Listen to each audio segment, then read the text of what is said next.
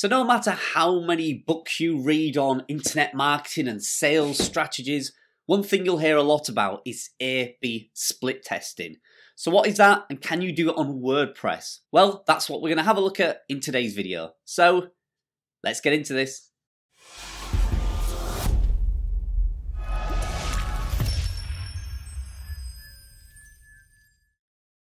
Now, if you followed my channel before, you'll know that I have various different affiliate marketing incomes and strategies that I'm working on websites, email lists, YouTube channels, and there's various ways you can actually A-B split test amongst all those different platforms. So to give you an idea, I have Ezoic on the majority of my websites for my display ads.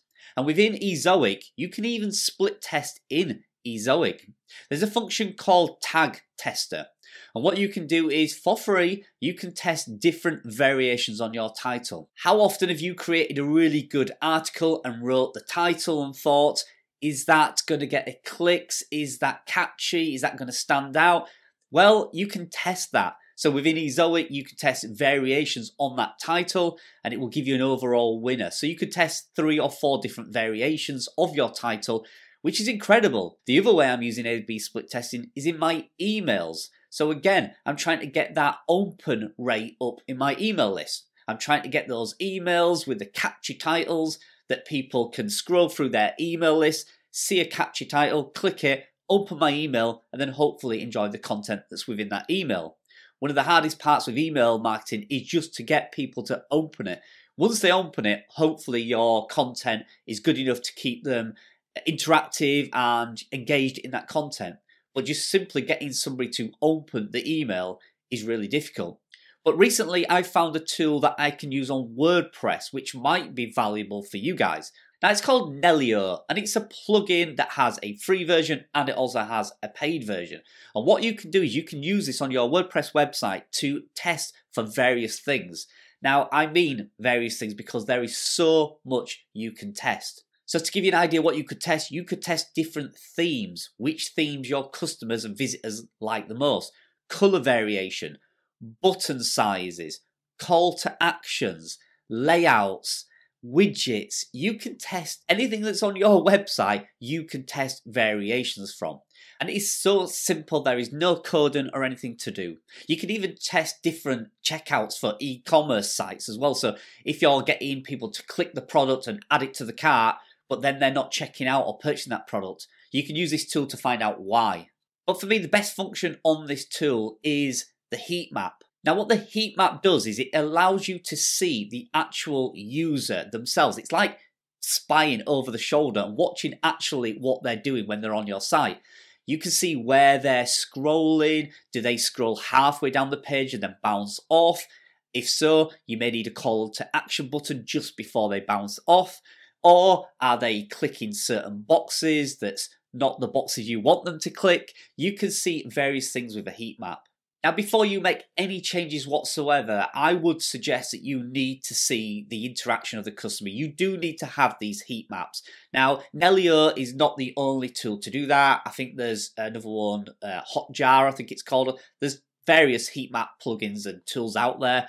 But this is very, very simple. And because it's part of the A-B testing package as well, for me, I didn't just want to purchase a heat map. I wanted something that does the heat map. And then from the results of the heat map, I can then go make the changes. So Nelio for me seemed to fit the bill. Now the heat map is part of the paid version. The free version allows you to do some A-B split testing, but the actual paid version has the heat map. So I do think it is worth getting the heat map as part of the paid package. I think they do a money back guarantee, so you can test it for a few months. You're not happy with it, just get out of it and get your money back. But uh, I'm certainly using it, and it is worth testing over a number of months to actually get some good results. Now, once you've used the heat map, you can start doing some testing. And to show you some examples, take a look at the screen now. So on the example you can see here, this is testing some colours. So you can see these three call to action boxes here have pastel, nice, friendly, warm looking colours. And then if you take a look at the this one now, this seems very corporate and a little bit bland and blue, but it has one red call to action in the middle. So what they're testing out here is if these soft, paler colours get the most clicks, or whether using two bland colours on the outside and then a striking colour on the middle gets them to click that button. So you can see some results here. So they tested three variants on this one. So variant A had four blue boxes, starting with a pale blue, medium blue, and then a dark blue.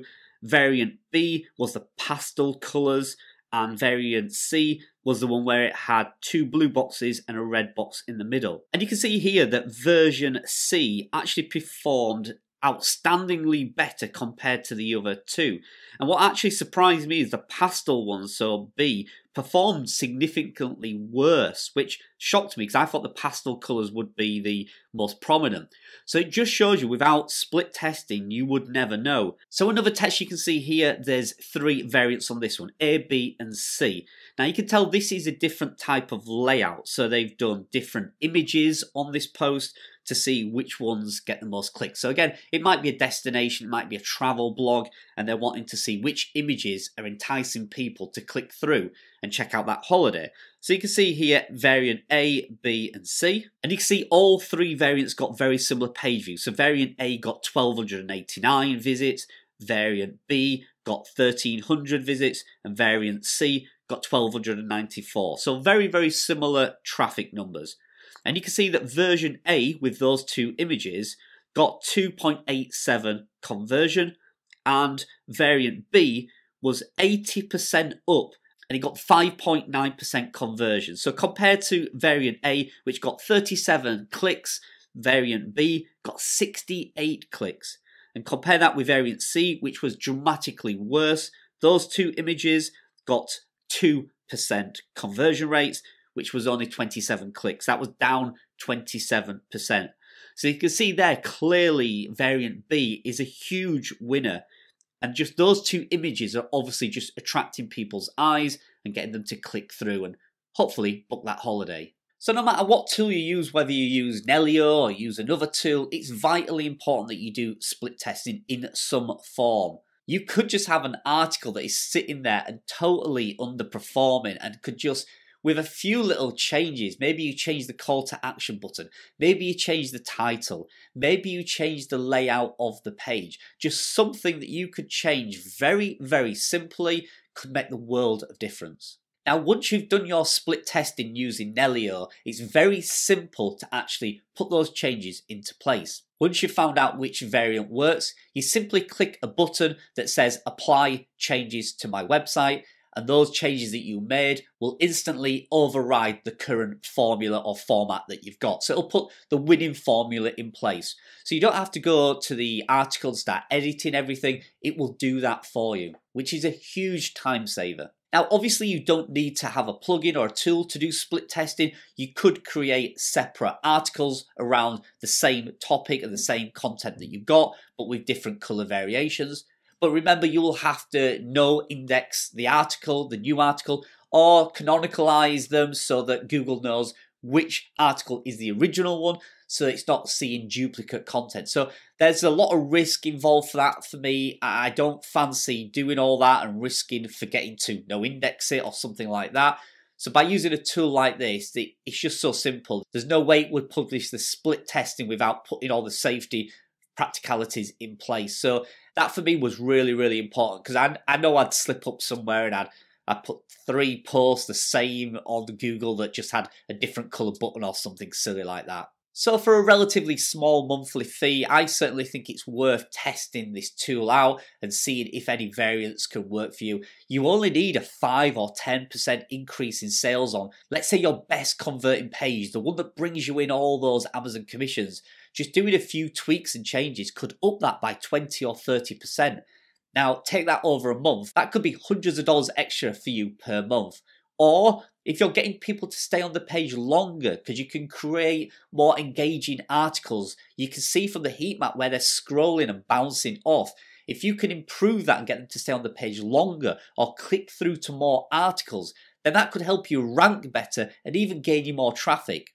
So it's not just about converting and getting more sales, you can actually get more traffic, more interaction, more time on page. The point I want to get across is that you just need to experiment, split test, test, test, test, test. That's all I ever say. Whenever anybody says to me, How can I improve my website? How can I get more sales? I'll ask them, What have you done to test? What variants have you tested? And if they say nothing, I just hit publish and I left it. Well, that's where you're going wrong. Without testing and analyzing the data, how can you improve? Because you don't know what to improve on. You don't know where you're going wrong. So for me, I totally understand why most books say you need to test because it is true that most sales campaigns are based upon results, testing, and formulas that work. And if you don't know what's working or what's not working on your website, how can you improve it? So I hope you like that video. If you have done any A-B split testing, comment below. Let me know what results you got from it. Do you do it regular? Is it something you tested and didn't do ever again? Let me know how you found it and what results you got from it. So thanks for joining me and I will see you in the next video.